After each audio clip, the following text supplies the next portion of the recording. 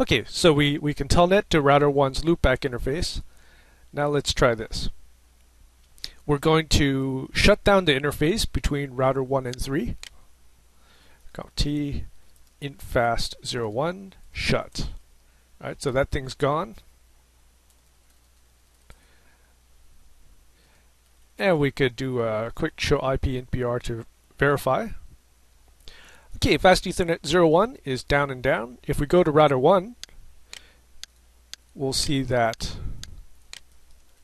the link should also be down. Show IP NPR, Fast 01. Okay, so here we see that Fast 01 on router 1 side is up and up, and that's because what we've done is the cable is still connected to router 1 and obviously router 3. Well, it's a virtual cable, and we've shut down one side the other side still thinks it's up. It's up. Okay, but in effect, what this is doing is uh, we've disconnected the link between the two the two routers. Okay, so let's verify, or actually, let's do this. Go on router one. We'll also shut down this side. So int fast01, shut it down, and now both sides are shut down. Go back on router 3. So in this case, it's basically the same as if we had cut this cable or we've pulled the cable out from both sides. Go on router 3, we'll try to telnet to 1.1.1.1. Let's see if we can make it. And we can still make it. Right? What's the reason? Well, there's two reasons. Since this is a virtual interface, it's always going to be up. And we still have a path through it going from router 3 to router 2 to router 1. Okay?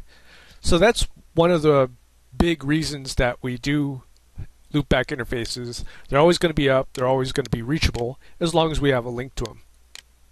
So I'll quickly show you something with OSPF and you'll also see it in later more advanced videos of why we need a loopback address. Oops. Go back to router 1.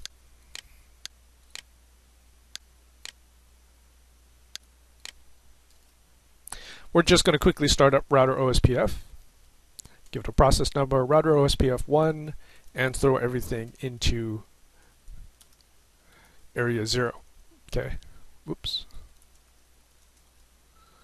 And give it a wildcard mask, area 0. There we go. So after we start up OSPF, we're going to do a show IP protocols. And you can see here that OSPF and RIP are currently running. And you can see here the router ID. This is going to be very important as you learn OSPF, uh, RIP, BGP, well not RIP, but uh, EIGRP, BGP, any of the more advanced protocols, they're going to want a router ID. And your router ID is going to be your highest loopback interface, if you have a loopback, which you should. Right, so here our loopback interface is 1.1.1.1. That makes our router ID 1.1.1.1. So this is going to identify the origin of the routes, and it's going to sort of tag them and, and basically say these routes came from this router.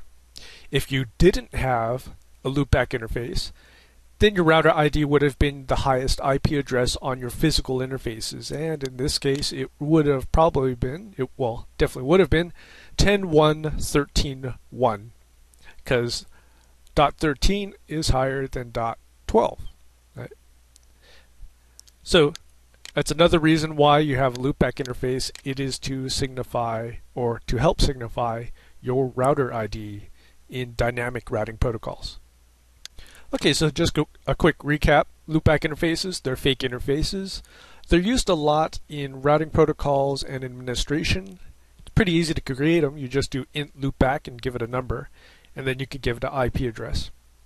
Uh, oh, I also forgot. Another reason we use loopbacks is for practice. They represent a network and it's sort of like a, a, fake network out there.